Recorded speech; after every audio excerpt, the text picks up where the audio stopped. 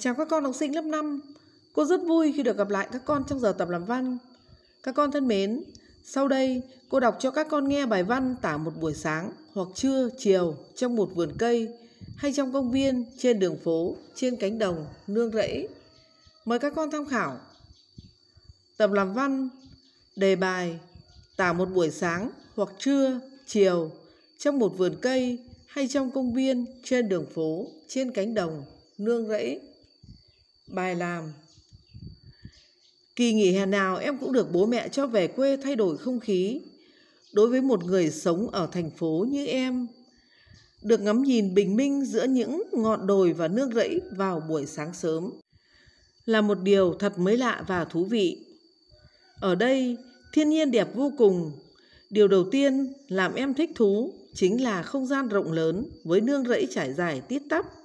Không khí nơi đây lúc nào cũng trong lành, buổi sáng lại càng mát mẻ. Ông bà em ở trong một ngôi nhà sàn xinh xắn, hướng quay ra như những nương rẫy mênh mông. Không gian hoang vắng, tĩnh mịch của đồi núi khi sáng sớm khiến em cảm thấy hơi rùng mình.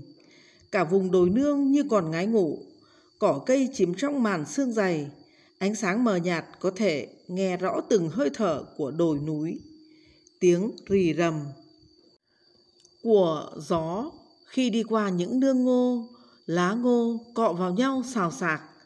Chỉ khi nghe thấy tiếng gà gáy te te ở những ngôi làng nhỏ dưới chân đồi, xen lẫn tiếng chó sủa, chim chóc hót vang đón mừng ngày mới, em mới thấy đỡ sợ.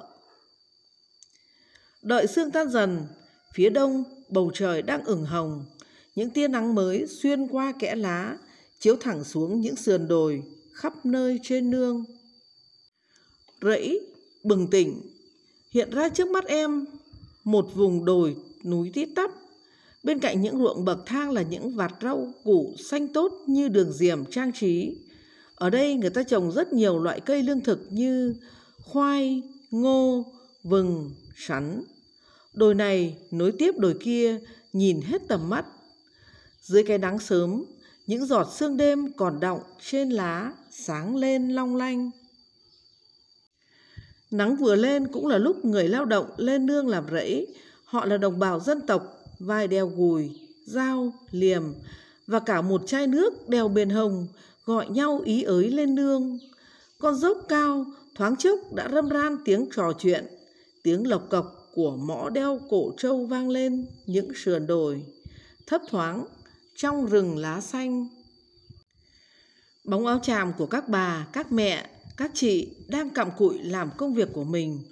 Người làm cỏ, người tra hạt, người cuốc sới, bàn tay nhanh thoăn thoắt, nhịp nhàng. Mặc dù đứng xa nhau nhưng thỉnh thoảng họ hát một khúc nhạc hay lấy một chiếc lá thay kèn thổi rất hay. Cho thấy cuộc sống nơi đây tuy còn vất vả, khó khăn, nhưng con người vẫn luôn tràn đầy tinh thần lạc quan hăng say lao động.